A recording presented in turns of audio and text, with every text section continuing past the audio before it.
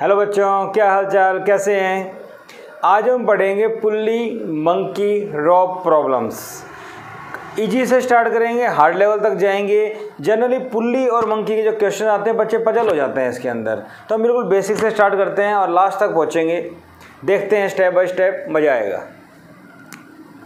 suppose करो first question लेते हैं हम इस टाइप से हमने एक रोप ले ली ठीक है बेटा सपोज करो हमने एक मंकी लिया इस टाइप से ठीक है ये मंकी ऊपर की तरफ जा रहा है फोर मीटर पर सेकंड से मंकी का मास है एट के जी ठीक है क्वेश्चन आ जाए find tension in string in rope कुछ भी रोप में टेंशन बताओ तो क्या करें इसने पकड़ा हुआ है तो टेंशन तो ऊपर की तरफ ही आएगी नो डाउट जो किसी के ऊपर खिंचाव आएगा टेंशन ऊपर कॉन्टेक्ट पॉइंट ये है ठीक है इसका वेट क्या हो जाएगा एट है तो eight K G eight newton eight K G है एम जी होता है एटी न्यूटन ठीक है velocity four metre per second है इसका मतलब वेलोसिटी कांस्टेंट है और वेलोसिटी जब कांस्टेंट होती है तो एक्सेलेशन जीरो कैसे ए क्या होता है D V by D T velocity अगर कांस्टेंट है तो कांस्टेंट का डिफ्रेंशिएशन जीरो बात समझ में आई ठीक है तो इक्वेशन क्या बन जाएगी इसकी ऊपर जा रहा है upper force minus lower force equal to mass into acceleration T equal to eighty plus eight A A क्या है जीरो तो एटी आ गया तो टी क्या आ गया बेटा एटी न्यूटन बात समझ में आ गई अगर मंकी ऊपर जा रहा है टेंशन कितनी आएगी एटी न्यूटन क्लियर और देखो ऐसा ये क्वेश्चन सिंगल मंकी को लेके चलते हैं ऐसा आ गया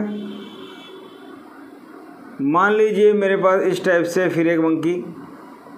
ठीक है टेन के जी और ऊपर जा रहा है four metre per second square की एक्सेलरेशन से एक्सेलरेशन दे रखी है यूनिट से चेक कर पाते हैं ठीक है find tension in string string बोलो रोप बोलो एक ही बात है बताओ कितने टेंशन है अब क्या करें यहाँ पकड़ रखा है टेंशन ऊपर आएगी वेट कितना हो गया एम जी हंड्रेड न्यूटन बात समझ में आ गई ऊपर जा रहा है तो ऊपर का फोर्स ज़्यादा तो टी माइनस हंड्रेड ऊपर का फोर्स माइनस नीचे का force equal to mass into acceleration acceleration कितनी बेटा फोर तो T equal to hundred plus forty 140 newton क्या मेरी बात समझ पा रहे हैं आप लोग क्या मेरी बात समझ पा रहे हैं इस टाइप से हम लोग इसको सॉल्व कर सकते हैं ऐसे ही अगर मान लो एक्सेलेशन नीचे की तरफ हो तो वन मोर क्वेश्चन ऐसे ही मान लीजिए मैं ये मंकी लेता हूँ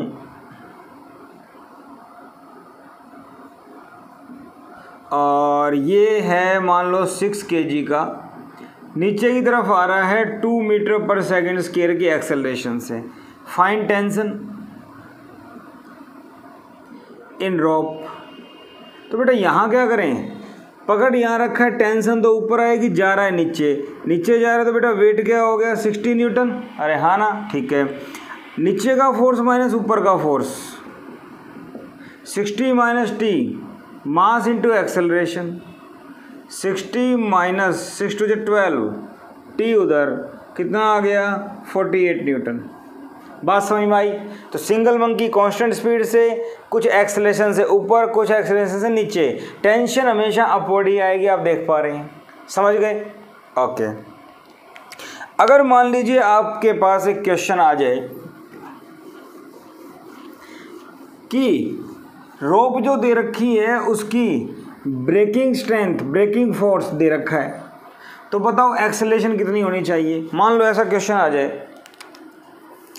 सपोज करो ये आपके पास एक रोप है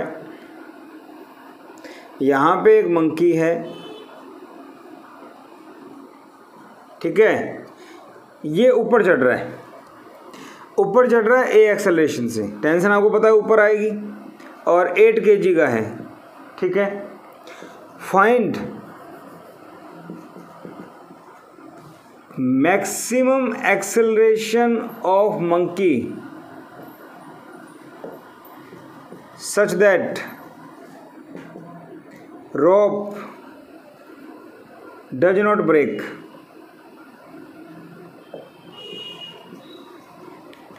breaking strength of rope is 200 newton ये आपको दिया हुआ है 200 न्यूटन ब्रेकिंग स्ट्रेंथ दे रखे तो अब क्या करें देखो ऊपर जा रहा है ऊपर का फोर्स माइनस वेट क्या हो जाएगा एटी अरे eight G M G eighty T minus eighty equal to mass into acceleration ठीक है ब्रेकिंग स्ट्रेंथ क्या होती है टेंशन तो टेंशन कितनी दे रखी है 200 अरे बोलो गिवन है ठीक है तो ये क्या हो जाएगा 200 hundred minus eighty equal to eight A one twenty equal to eight A four two जा एट फोर थ्री जा अरे बोलो ठीक है ये कितना आ गया फिफ्टीन और ए फिफ्टीन आने का मतलब हो गया fifteen metre per second square इसकी एक्सेलरेशन है मैक्सिमम मैक्सिमम एक्सेलरेशन फिफ्टीन है इससे ज़्यादा होगी तो रोप टूट जाएगी बात समझ में आ गई ठीक है भाई क्वेश्चन मुझे समझ में आ गया मान लो क्वेश्चन लिया जाए आपके पास इस टाइप से ये रोप दे दी जाए यहाँ पे एक मंकी लिया मैंने इस टाइप से यहाँ पे एक मंकी मैंने इस टाइप से लिया समझ गए मेरी बात ये मंकी है एट के जी का एट के जी का मंकी ऊपर जा रहा है two metre per second square के एक्सलेशन से इसी टाइप से मैंने एक मंकी और ले लिया इस टाइप से ये मंकी नीचे आ रहा है सिक्स के जी का three metre per second square से आपको पता है ऊपर जाए नीचे जाए टेंशन दोनों में सेम होनी है टी वन टी टू मान लें find net tension in rope rope में नेट टेंशन बताओ कितनी होगी तो कोई दिक्कत नहीं है ये फर्स्ट वाला चेक करो ऊपर जा रहा है तो ऊपर का फोर्स माइनस नीचे का नीचे का क्या हो जाएगा 80 newton T one minus eighty mass eight acceleration दो बात समझ में आ गई T one equal to eighty plus sixteen ninety six newton बात समझ में आ गई ना ठीक है ओके एंड टी टू नीचे जा रहा है तो इसका वेट क्या हो गया सिक्सटी तो नीचे माइनस ऊपर नीचे का माइनस ऊपर mass into acceleration mass six है एक्सेलरेशन थ्री है टी टू इधर चला जाएगा सिक्सटी माइनस एटीन अरे बोलो T two equal to sixty minus ten fifty fifty minus eight forty two T two आ गया ठीक है टोटल टेंशन बेटा टोटल टेंशन क्या आ गई T equal to T one plus T two बात समझ में आ रही है तो टी क्या आ गया टी वन है आपके पास नाइन्टी सिक्स ये कितना है बेटा फोर्टी टू दोनों को ऐड कर दो six two eight one thirty eight newton क्या मेरी बात समझ पा रहे हैं आप लोग टेंशन दोनों की निकालो जस्ट सेकंड लॉ अप्लाई करना आना चाहिए ऊपर जा रहा है तो ऊपर में से नीचे वाला नीचे जा रहा है तो नीचे में से ऊपर वाला दोनों की टेंशन ऐड करो आपका आंसर आ जाएगा बात समझ में आ गई ठीक है तो इस टाइप के क्वेश्चन अगर आ जाएँ तो मैं कर सकता हूँ मुझे किसी टाइप की कोई परेशानी नहीं होनी चाहिए ठीक है अब इसमें थोड़ा आगे बढ़े तो हमारे पास पुल्ली के क्वेश्चन आ जाते हैं हमारे पास पुल्ली के क्वेश्चन आ जाते हैं और पुल्ली के क्वेश्चन करने से पहले हमें थोड़ा कंसेप्ट समझना पड़ेगा होता क्या है समझ रहे हो ना monkey pulley concept monkey pulley का कंसेप्ट क्या है देखो ये मेरे पास एक पुल्ली इसको मैंने फिक्स किया यहाँ ये रोप और रोप के साथ मैंने एक मंकी लगाया इस टाइप से समझ गए मंकी का मास एम यहाँ मैंने एक ब्लॉक ले लिया ब्लॉक का मास कैपिटल एम एक ही स्ट्रिंग है मासलेस है सुनना ध्यान से मोस्टली क्वेश्चन इसी के ऊपर आएंगे पुल्ली और स्ट्रिंग दोनों मासलेस हो गया आपको पता है पुल्ली मासलेस हो तो हर जगह टेंशन सेम और स्ट्रिंग अगर मासलेस है तो हर पॉइंट पे सेम होती है तो टेंशन अगर टी है तो हर जगह टी होगी ठीक है ये हो गया पहला पॉइंट मंकी अगर ऊपर जाएगा तो ब्लॉक भी ऊपर जाएगा मंकी अगर ऊपर जाएगा तो ब्लॉक भी ऊपर जाएगा बात समझ में आ गई क्यों मंकी जब ऊपर जाएगा तो मंकी की एक्सलेशन ए मान लेता हूं तो ये रोप को नीचे खींचेगा रोप को जब नीचे खींचेगा तो ये ब्लॉक ऊपर जाएगा रोप के थ्रू तो ब्लॉक की एक्सेलेशन ए बी मान लेते हैं अब आप सोच रहे हो ए एम और ए बी अलग अलग क्यों क्योंकि ये मंकी ऊपर जा रहा है समझ रहे हो ना तो इसकी एक्सलेशन ए एम ग्राउंड के रेस्पेक्ट में है इसकी ब्लॉक की ग्राउंड के रेस्पेक्ट में है जिससे ये ऊपर जा रहा है ज़रूरी नहीं है कि वो इसके बराबर हो ज़रूरी नहीं है वो इसके बराबर हो देखो A monkey is not equal to A block ठीक है is not equal to A block अगर mass of monkey is not equal to mass of block बात समझ में आ गई ठीक है A monkey equal to A block if दोनों का मास बराबर हो मंकी और ब्लॉक का मास अगर बराबर है तो दोनों की एक्सलेशन बराबर होगी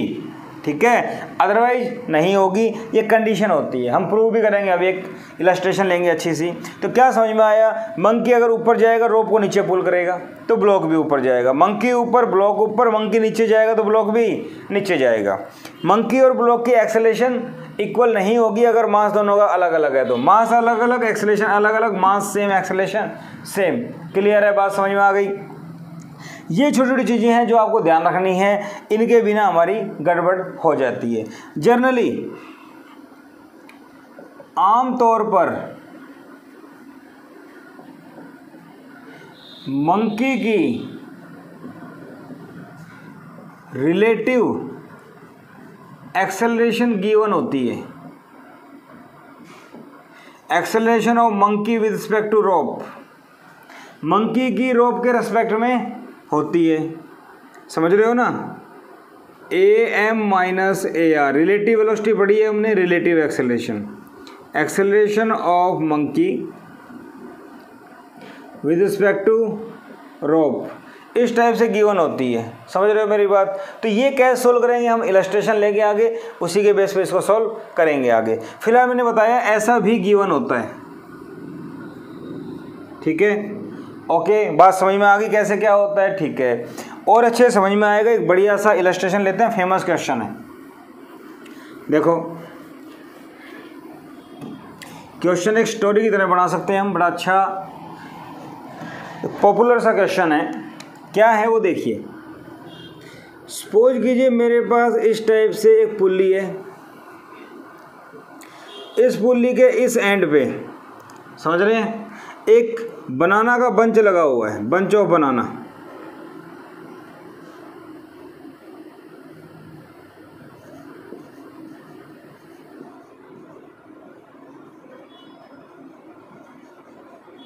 समझ गए क्या बोलेंगे इसको बंच ऑफ बनानाज क्लियर है दूसरी साइड ये रोप है इस रोप पे यहां एक मंकी बनाया हमने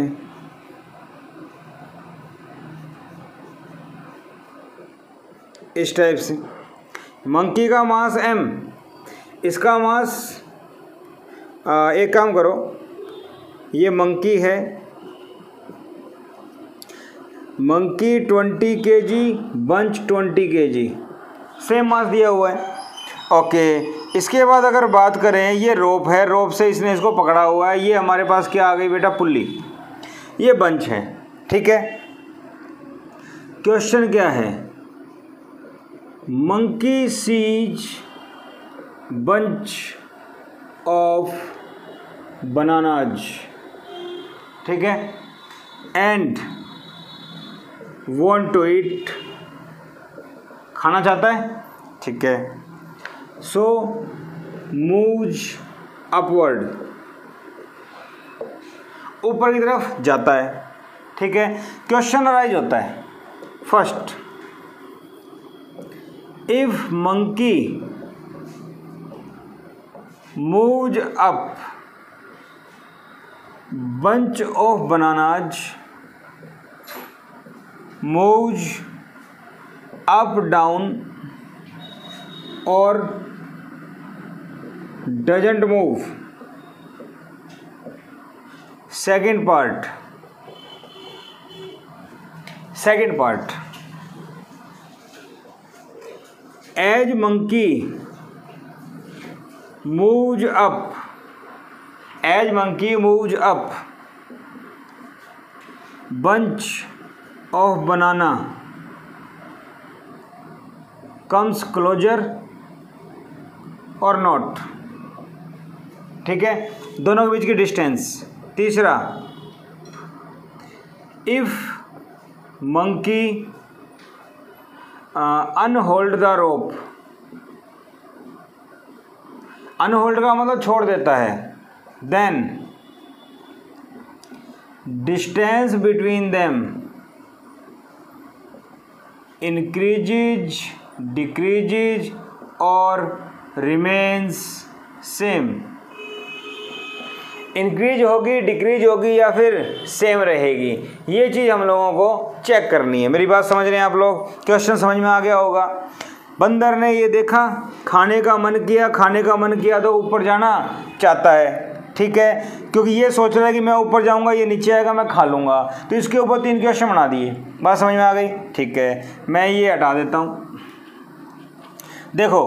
फर्स्ट पार्ट फर्स्ट पार्ट क्या कहता है अगर मंकी ऊपर जाएगा बनाना कहाँ जाएंगे तो अभी अभी मैंने पीछे बताया था कंसेप्ट में अगर मंकी ऊपर जाएगा रोप को नीचे खींचेगा तो बनाना कहाँ जाएंगे ऊपर तो बनाना मूव्स अपवर्ड पहला समझ में आ गया सेकंड पार्ट सेकंड पार्ट क्या कहता है अगर मंकी ऊपर जाएगा bunch of banana comes closer और नॉट पास आएगा या नहीं आएगा तो चेक करते हैं सपोज कीजिए tension T tension T weight two hundred newton weight two hundred newton बात समझ में आती है मंकी के लिए फॉर मंकी मंकी की बात करें तो T minus two hundred equal to twenty और एक्सेलेशन क्या मान लेते हैं मंकी की ए एम बनाना की क्या मान लेते हैं ए बी तो मंकी हो गया for banana T minus two hundred equal to twenty A B T upper minus two hundred mass same है तो यहाँ अगर देखें from first and second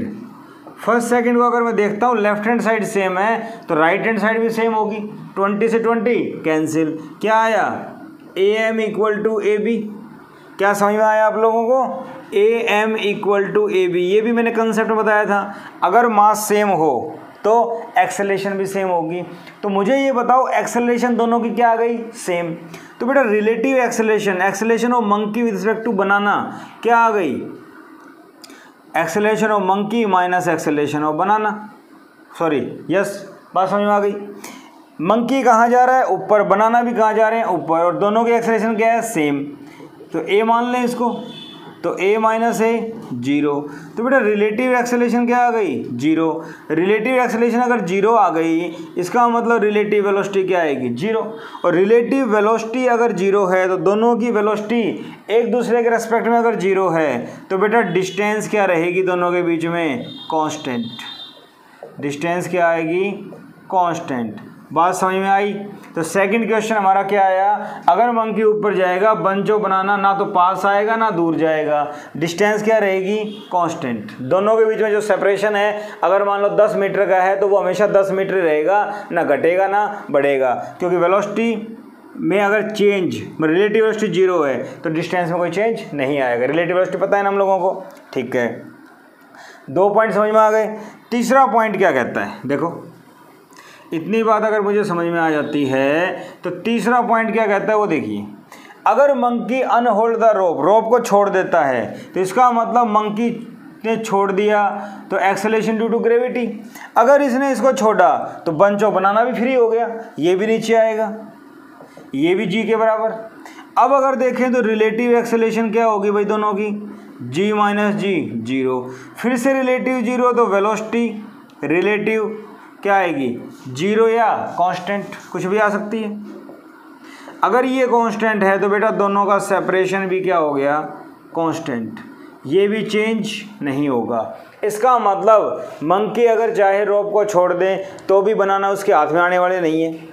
और अगर वो ऊपर जाएगा तो भी हाथ में आने वाले नहीं क्योंकि दोनों का मास क्या है सेम और मास सेम होने से दोनों के बीच में सेपरेशन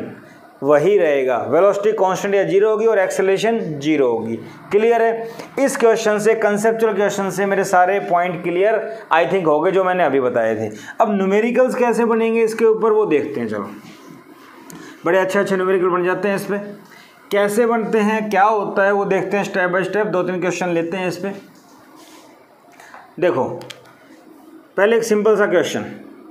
मान लीजिए ये मेरे पास एक पुल्ली ठीक है यहाँ मैंने इस टाइप से एक ब्लॉक ले लिया ब्लॉक का मास कैपिटल एम इस ब्लॉक को एक सरफेस पे रख दिया क्लियर यहाँ एक मंकी लगा दिया मैंने और मंकी का मास एम क्लियर ठीक है भाई टेंशन आपको पता है एक ही रो पे तो टी आने वाली है ठीक है एक्सेलेशन मान लेते हैं इसकी ए तो क्वेश्चन है find acceleration A of monkey such that block M just lift up the surface मतलब क्या हुआ कितनी एक्सेलेशन इसकी होगी ब्लॉक यहां से जस्ट लिफ्ट अप हो जाए तो जस्ट लिफ्ट अप का मतलब सॉल्यूशन देखिए ब्लॉक ब्लॉक की बात करें तो ब्लॉक का डायग्राम ये बनेगा भाई एम जी यहाँ पर tension for just lift up acceleration क्या होनी चाहिए ब्लॉक की जीरो क्लियर है ना ब्लॉक की एक्सेलेशन क्या होनी चाहिए जीरो क्योंकि जस्ट लिफ्ट होगा हल्का सा माइन्यूटली ऊपर ही लेगा इसका मतलब वेलोसिटी ऑलमोस्ट कांस्टेंट और बहुत स्मॉल वेरी स्मॉल तो एक्सेलेशन क्या होगी जीरो पता है आपको इस चीज़ का वेलोसिटी कांस्टेंट हो या वेरी वेरी स्मॉल हो तो एक्सेलेशन जीरो तो T minus M G equal to mass into acceleration T equal to M G अरे ये तो जीरो हो गया ये उधर चला जाएगा क्या मेरी बात समझ में आ गई ठीक है फोर मंकी अगर बेटा मंकी की बात करता हूँ तो मंकी कहाँ जा रहा है ऊपर मंकी का वेट क्या हो गया एम जी तो देखो T minus M G equal to M A monkey A monkey को ए मान लिया हमने ठीक है तो t minus M G equal to M A M को ए कर दिया और t की वैल्यू मेरे पास क्या है बेटा एम जी क्लियर यहाँ से m minus M G M नीचे आ गया क्या आ गया मेरे पास ए एक्सलेशन और मंकी आ गया मेरे पास ठीक है तो फोर जस्ट लिफ्ट अप सुनना ध्यान से ये तो मैंने मिनिमा का कैसे लिया है टी एम जी के बराबर टी एम जी के बराबर तो इसके ऊपर रखा हुआ है अगर इसको उठाना है तो A must be greater than M minus M G by M इससे ज़्यादा होना चाहिए ए ताकि ये इससे उठ जाए क्या चीज़ समझ में आई क्वेश्चन हो गया इसकी एक्सेलेशन इससे अलग इसकी जीरो तो इसकी अलग आ रही है पहली बात डिफरेंस है ना दूसरी बात मास अलग अलग है तो एक्सलेशन भी अलग अलग है और ये अगर ऊपर जा रहा है तो ये भी ऊपर ही जाएगा बताया था ना उठने की कोशिश करेगा तो वही बातें निकल के आ रही है यहाँ पे ठीक है और देखिए अगर क्वेश्चन में एक की एक्सलेशन दे दें और दूसरे की निकालनी हो तो भी ये आसानी सवाल बनता है मुश्किल नहीं बनता कैसे वो देखो सपोज करो आपके पास क्वेश्चन आ जाए भाई ये पुल्ली है आपको ऐसे दे दी यहाँ पे इसके ऊपर हमने एक मंकी लगा दिया समझ रहे हो मेरी बात हमने यहाँ पे इस टाइप से एक मंकी लगा दिया ठीक और मंकी का मास क्या ले लिया जाए टेन के जी ऊपर जा रहा है मंकी एक्सेलरेशन है इसकी फोर मीटर पर सेकंड स्केयर यहाँ पे हमने एक ब्लॉक लगा दिया ब्लॉक का मास ले लीजिए सिक्स के जी ठीक है टेंशन आपको पता है सेम रहने वाली है ठीक है acceleration of block find acceleration of block ये सवाल आ जाए आपके पास ये ऊपर जा रहा है ब्लॉक लगा दिया पुली लगा दी बात वही है और ये आपको पता है मास लेस है ठीक है अब देखो आराम से फॉर मंकी अगर मंकी की बात करें ऊपर जा रहा है वेट कितना हो जाएगा हंड्रेड न्यूटन अरे एम जी एम टेन है जी वी टेन होता है तो अपर ऊपर जा रहे तो T minus M G hundred mass कितना है टेन एक्सलेशन कितनी है फोर तो टी कितना आ गया बेटा हंड्रेड प्लस में फोर्टी तो मेरे पास टी आ गया वन हंड्रेड फोर्टी न्यूटन बात समझ में आई या आ गई अब फोर ब्लॉक तो ब्लॉक की अगर बात करें तो ब्लॉक में वेट कितना हो जाएगा सिक्सटी न्यूटन ये भी ऊपर जा रहे हैं T minus sixty equal to M A B मान लिया अब टी तो मेरे पास आ चुका टी की वैल्यू पुट कर दो सिक्स ए बी तो one forty minus sixty eighty six A B बात समझ में आई या नहीं आई ठीक है वन फोर्टी में से फोर्टी एटी आ गया अब एटी डिवाइड बाई सिक्स मेरे पास क्या आ गया ए बी और ए बी अगर मैं देखूँ तो ये आ गया फोर्टी बाई थ्री क्या मेरी बात आप लोगों को समझ में आई ब्लॉक की एक्सेलेशन कितनी आ गई फोर्टी बाई थ्री और यहाँ पे अगर देखा जाए तो मंकी की एक्सेलेशन कितनी है फोर तो दोनों की अलग अलग है क्लियर ये ऊपर जा रहा है तो ब्लॉक भी ऊपर ही जाएगा क्लियर वही बातें निकल के आ रही हैं जस्ट कंसेप्ट पकड़ में आ गया तो कोई दिक्कत नहीं एक चीज़ ध्यान रखनी है दोनों ऊपर जाएंगे एक्सलेशन अलग अलग होगी अगर मास सेम है तो एक्सलेशन भी सेम होगी यस और नो ठीक है बहुत अच्छा सवाल था ईजी सवाल था अगर समझ में आ गया हो चलो अब मैंने आपसे एक बात कही थी क्या अगर रिलेटिव एक्सेलेशन दे रखी हो तो क्या करें भाई अगर रिलेटिव एक्सेलेशन आपको दे रखी है तो क्या करें देखो रिलेटिव वेलोसिटी का कंसेप्ट इसमें आ गया तो थोड़ा अच्छा सवाल हो गया हॉर्स में काउंट होता है है ना अच्छा सवाल ज़बरदस्त यहाँ देखिए यहाँ पे आपको एक मंकी दे दिया भाई ठीक मंकी का मास एम है तो वेट क्या हो जाएगा एम जी टेंशन क्या है टी ओके यहाँ पे एक ब्लॉक लगा दिया ब्लॉक का मास क्या मान लिया हमने एम बाई टू तो इसका वेट क्या हो जाएगा एम जी बाई टू क्या ये बात समझ में आती है ठीक है यहाँ पे acceleration of monkey with respect to rope दी हुई है ये जो है ना ये क्या रोप रोप की एक्सेलेशन दी हुई है जी बाई सिक्स क्लियर देखो if acceleration of monkey with respect to rope is G by six ठीक है find acceleration of block rope with respect to ground also find tension in string string में tension बताओ बढ़िया सवाल बन गया तीनों चीज़ें निकालनी है सबसे पहली बात मुझे क्या दिया हुआ है सोचो यही मेन चीज़ है बाकी सवाल ख़त्म A M R acceleration of monkey with respect to ground acceleration of rope with respect to ground clear ये दिया हुआ है जी वाई सिक्स कहाँ जा रहा है भाई ऊपर जा रहा है तो ऊपर का पॉजिटिव हो गया clear acceleration of monkey monkey भी ऊपर ही जा रहा है जा रहा है तो तो एक्सेलरेशन ऑफ मंकी ऐसे माइनस ए आर जब मंकी ऊपर जा रहा है ध्यान सुनना मंकी ऊपर जा रहा है तो रोप को नीचे पुश कर रहा है अरे बोलो तो एक्सेलरेशन ऑफ रोप कहाँ होगी नीचे इस पॉइंट पे जहाँ मंकी है वहाँ पे जहाँ मंकी है वहाँ पे मंकी अगर ऊपर जाएगा तो रोप तो नीचे जा रही है तो अपोजिट हो गया अपोजिट हो गया तो माइनस ए आर हाँ या ना बात समझ में आ गई बोलो ठीक है यहाँ से अगर मंकी की एक्सेलेशन निकालें तो ये आ गई G by six minus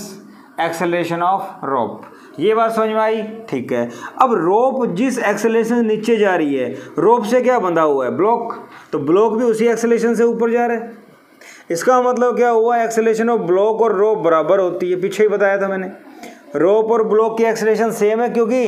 acceleration जो रोप है वही तो ब्लॉक से बंधी हुई है समझ रहे हो ना मंकी बंधा हुआ नहीं है तो रोप और ब्लॉक की एक्सलेशन सेम लेकिन यहाँ देखा जाए तो रोप नीचे आ रही है ब्लॉक ऊपर जा रहा है लेकिन एक्सलेशन क्या होगी सेम मैग्नीट्यूड में क्लियर तो मैग्नीट्यूड में मैं ए एम को जी बाई सिक्स माइनस में ए ब्लॉक कर सकता हूँ क्या ये बात आपके समझ में आ गई ठीक है भाई इतनी बात आपके समझ में आ गई मंकी की एक्सलेशन क्या होगी क्या ये कंसेप्ट समझ में आया आपको क्लियर है ये अच्छे से समझ में आ गया आगे कुछ नहीं है ख़त्म देखो फॉर ब्लॉक ब्लॉक की अगर मैं बात करता हूँ देखो यहीं पे ब्लॉक ऊपर जा रहा है T minus M G by two equal to M by two A block equation number two क्या मेरी बात समझ में आई ब्लॉक ऊपर जा रहा है ऊपर माइनस नीचे equal to M A clear for monkey ध्यान रखना मंकी की एक्सेलेशन भी ग्राउंड के रेस्पेक्ट में तो ये ऊपर जा रहा है minus M G equal to mass into acceleration of monkey अब ये मंकी की एक्सेलेशन थी रोप के रेस्पेक्ट में मुझे चाहिए ग्राउंड के रेस्पेक्ट में वो तो ये आ गई हाँ या ना बात समझ में आ गई ठीक है अगर ये बात मुझे समझ में आ जाती है तो देखो क्वेश्चन में कुछ बचा नहीं है अभी इस इक्वेशन को मैं क्या लिख सकता हूँ T minus M G equal to M A M A M क्या है भाई G by six minus A B clear T equal to क्या हो गया एम जी प्लस में M G by six minus M A B और इसको मैं सिंप्लीफाई करूँगा T six seven seven M G by six minus M A B क्या equation number तीन डाल दूँ इसको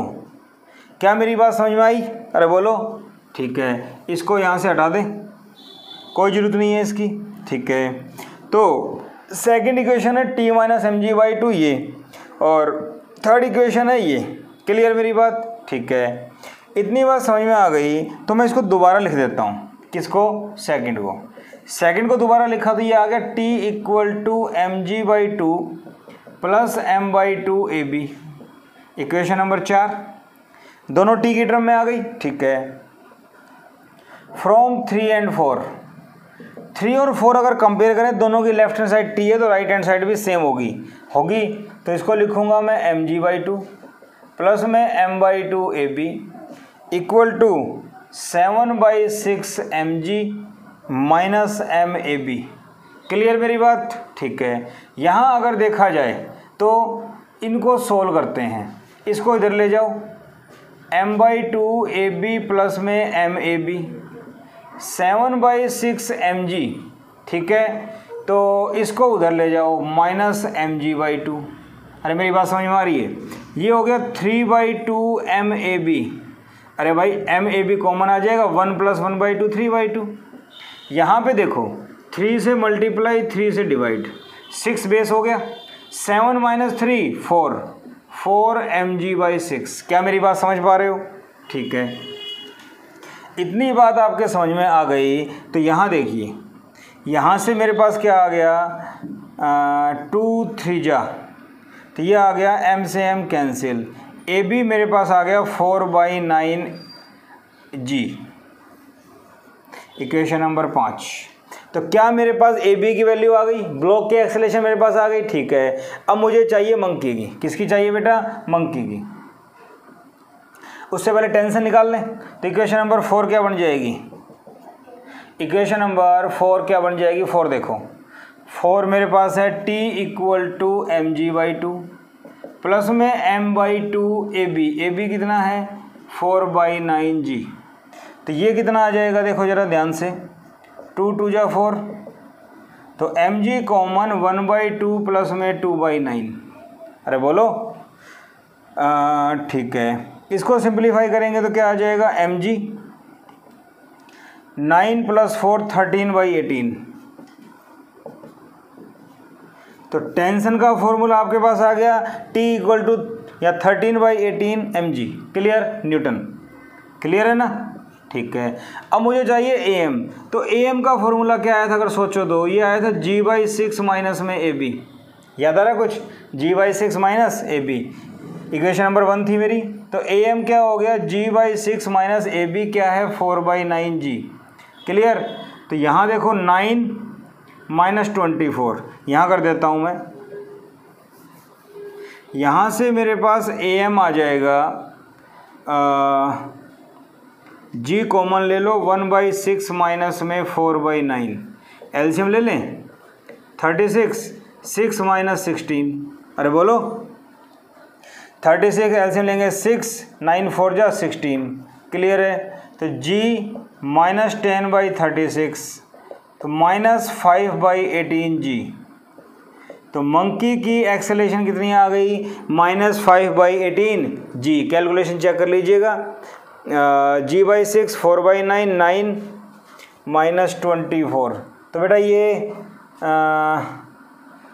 थर्टी सिक्स लिया सिक्स सिक्स जा थर्टी सिक्स नाइन फोर जा सिक्सटीन सही है मेरे ख्याल से minus ten by thirty six और माइनस फाइव बाई एटीन तो मंकी की एक्सेलेशन आपके पास क्या आ रही है नेगेटिव मंकी की एक्सेलेशन नेगेटिव इसका मतलब ग्राउंड के रेस्पेक्ट में मंकी ऊपर नहीं जा रहा नीचे जा रहा है नेगेटिव साइन का मतलब हमने जो डायरेक्शन एज्यूम की थी उसका अपोजिट होगा ठीक है बेटे बेटे मेरी बात तो यहाँ पे रिलेटिव एक्सेलेशन दे रखी थी रिलेटिव का मतलब होता है इसकी रोप के रेस्पेक्ट में तो ग्राउंड के रेस्पेक्ट में निकाल लेंगे उसको उसके बाद स्टेप बाय स्टेप इक्वेशन बनाओ सॉल्व करो मेरे ख्याल से बात समझ में आ गई होगी जनरली ये जो क्वेश्चन था इसमें टेंशन पूछी गई थी और ये पूछा गया था मंकी के एक्सलेशन तो मैंने निकाल दी अदरवाइज जनरली क्वेश्चन में है नहीं ये फिर भी आप निकाल सकते हैं वैल्यू पुट करके ठीक है तो स्टेप बाय स्टेप हम लोगों ने मंकी क्वेश्चन स्टार्ट किए ईजी से उसके बाद लास्ट हम या जेई लेवल तक पहुँच गए मान लीजिए बहुत अच्छा क्वेश्चन था ये तो